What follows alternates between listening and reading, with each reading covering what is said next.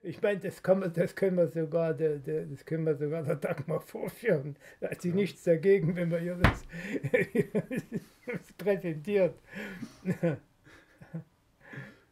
ja.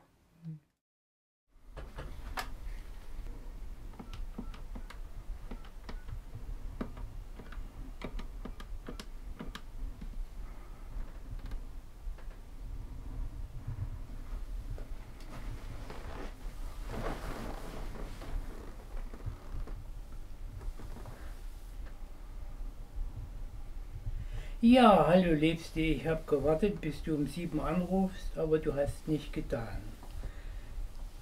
Ja, aber für dich habe ich doch immer Zeit, das weißt du doch. Ja, das ist interessant. Wir haben heute den ganzen Tag über mein Leben gesprochen. So habe ich, so hab ich mein eigenes Leben noch nicht gesehen, wie er aus mich, was er aus mir rausgequetscht hat. Das ist ganz... Äh, ich, ach, ich brauche das nicht aufzuschreiben. Er macht das ja, er macht ja einen Film davon, Dagmar. Das ist ja die moderne Form der Kommunikation. Ne? Aufschreiben ist, war früher, das ist out. Du schreibst das noch auf. Ich, ich, werde, ich werde modern, äh, meine Biografie wird modern verarbeitet, nicht literarisch, sondern in modernen Medien. Das ist was ganz anderes. Hm? Meine ganze berufliche Entwicklung, die ich Ihnen ausgebreitet habe, ausgiebig erklärt habe, ich dachte, er wird nun einen Film machen über die, wie wird man Professor, nicht? oder wie steigt man in der Wissenschaft die Leitern hoch. Die, nee, das interessiert ihn gar nicht so sehr. Ihn interessiert vielmehr, wie es möglich ist, dass ein alter Mann äh, plötzlich eine neue Liebesbeziehung äh, eingehen kann. Das war für ihn viel interessanter.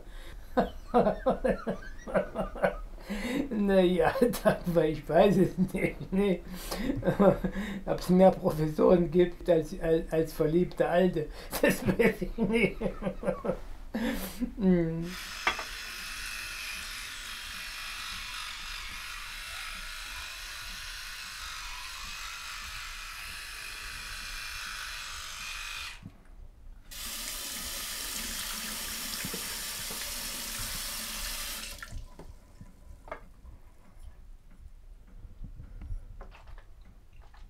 Ja, es ist eine Art Erneuerung, genau. Eine, eine Erneuerung.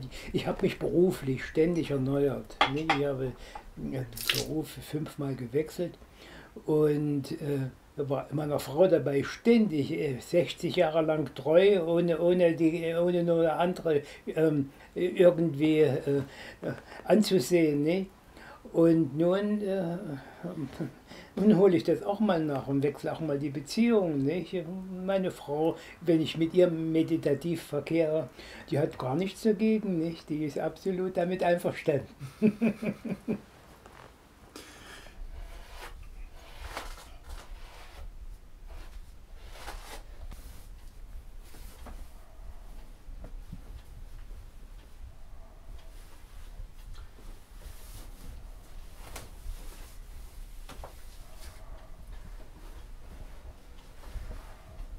Also äh, das ist der große Unterschied zu meiner jetzigen Partnerin und zu meiner, zu meiner verstorbenen Frau.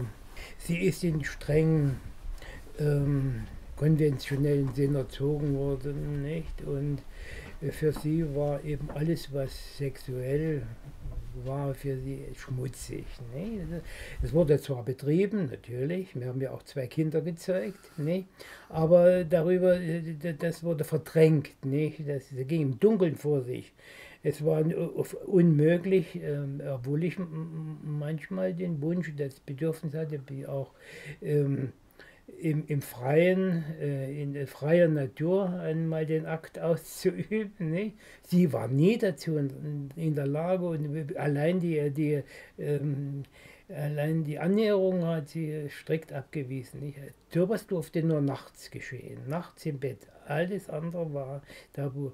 Und dieses, dieses, dieser verklemmte, ja, ich muss es sagen, es war schon verklemmt. Nicht?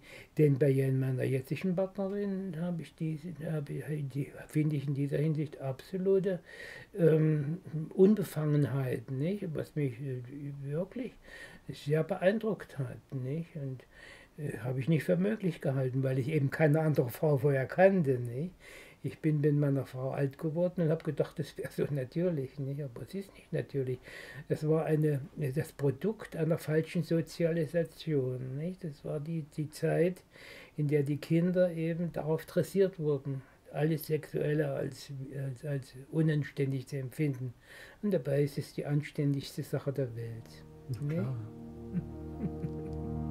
da stimme ich dir voll und ganz zu.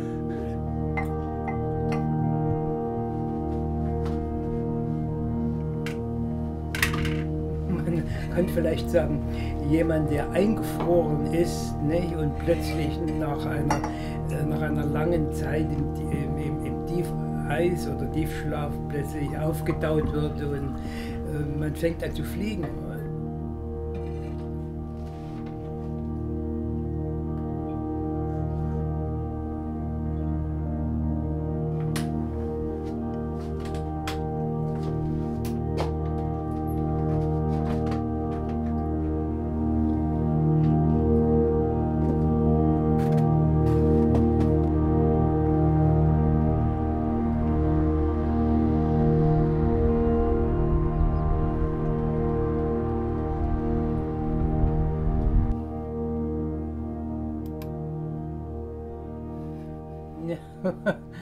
äh, unsere erste große Fahrt äh, war nach Kuba, wenn wir mit dem Auto unterwegs waren. Das ist äh, Dagmar, meine gegenwärtige, äh, wo kann man sagen, Lebensgefährtin. Ja, nein, es ist eigentlich offiziell eine Reise.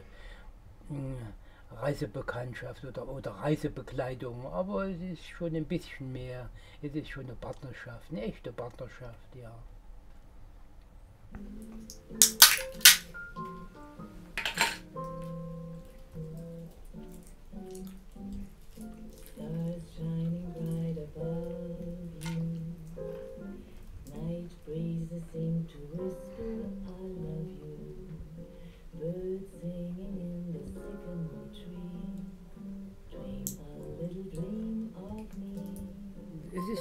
Die, die Menschen reagieren unterschiedlich, wenn sie uns, äh, also wir verbergen unsere, unsere Gefühle nicht, auch nicht in der Öffentlichkeit. Nicht?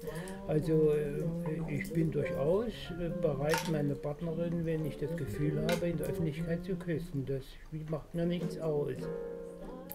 Und da gibt es äh, Leute, die, äh, das, den Kopf schütteln und das für unmöglich halten.